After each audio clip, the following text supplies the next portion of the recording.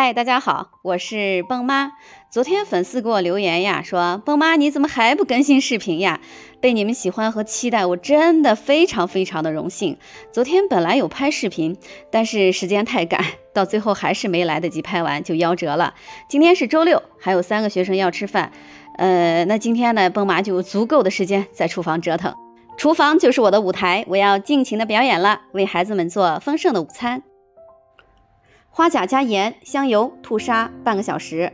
今天我分享的这几道菜呢，既有地方特色菜，还有快手懒人菜，做法也都非常的简单，成功率也高。看看我都做了什么好吃的：掐掉虾头，去掉虾味；虾仁剥壳后呢，开背去虾线，用虾仁烧一道汤。不同以往的做法，只是多加了一个步骤，虾肉吃起来呢更加的鲜嫩 Q 弹。加生姜、料酒和盐。腌制一会儿，买了一斤半的牛里脊，让摊主帮我切好了，加上调料腌制，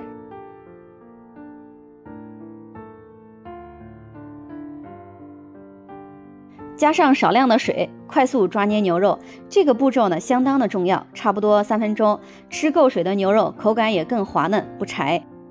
最后来上一点点的油，锁住水分，腌制半个小时。接下来把菜洗一下。我今天偷了个懒，山药没有提前烫，也没有戴手套，手特别痒。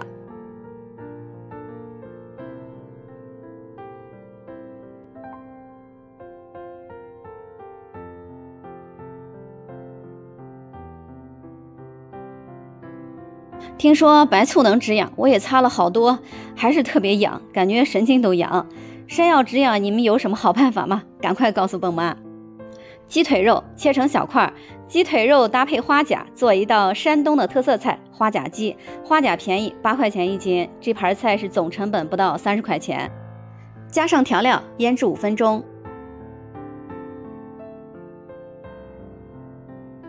今儿烧四个菜，一个汤，外加一个小甜品。做花甲鸡不同于其他鸡肉的做法，不用焯水，锅里多倒一点油。炒至肉皮收紧，捞出，把鸡块给它控一下油，多余的油不要。花甲凉水下锅，加上料酒，煮开，煮至花甲开口，捞出。哎，今天煮花甲的水怎么是淡蓝色的？以前好像还没有发现这种情况呀，不知道是不是正常的。不管它了，先炒菜。锅里油热，把葱和姜炒香，加上两勺豆瓣酱。花椒和干辣椒炒香后，把鸡块倒进去，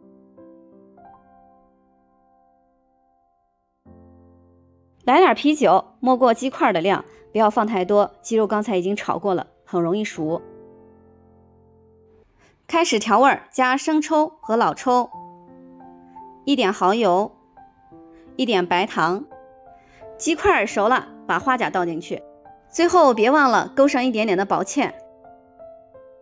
撒上青红椒圈儿，这道菜它应该叫花甲鸡煲吧？洋葱垫底儿，把肉倒进去，开中小火焖五分钟。时间到，开盖儿，哇，香的不得了呀！真正的麻辣鲜香开胃菜。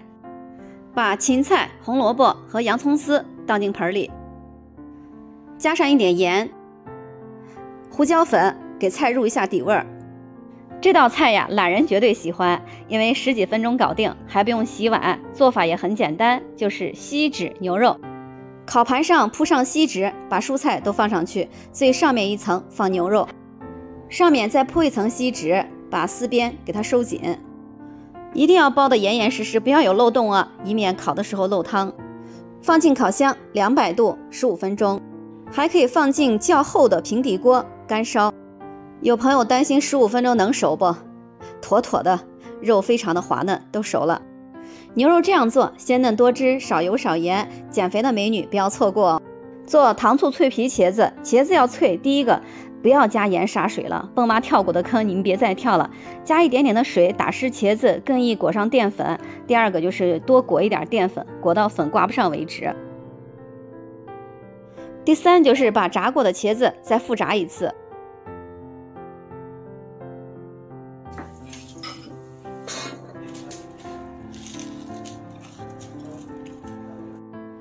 糖醋汁最佳比例三勺，番茄酱，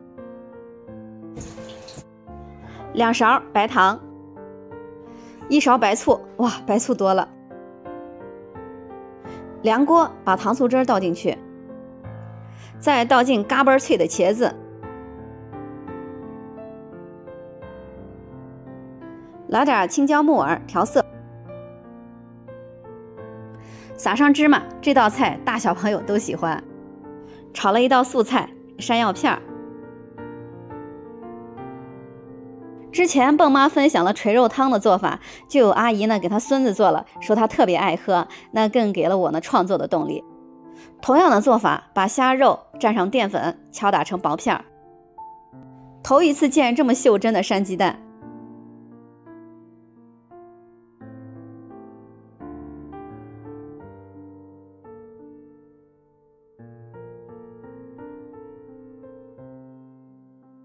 锅里少倒一点油，把虾头煸出虾油。我怀疑今天我买的是假虾，煸不出虾油。倒上开水，这会儿把虾头捞出来就不要了。把虾片放进去，少来一点点盐，这个汤比较鲜。再加一点胡椒粉，来点紫菜会更完美。南瓜两百五十克，糯米粉一百八十克。玉米淀粉四十克，再加一点点的糖。我们家长说他孩子可喜欢吃我做的点心，所以隔三差五就给孩子们做来吃，但是也不能经常吃，毕竟是甜食。揉出来的面团是比较软，这个面团是没有筋性的，不用揉，直接搓圆。用您的巧手给它转个小窝窝。包上豆沙馅儿，馅料呢随意，加上巧克力，我觉得也非常不错。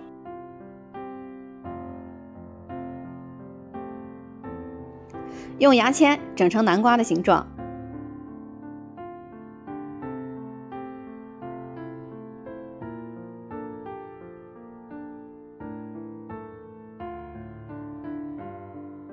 枸杞点缀，枸杞呢用水一定要多泡一泡，因为刚采摘下来的枸杞呢，为了上色，果农都会喷很多的活碱，一定要多泡一泡。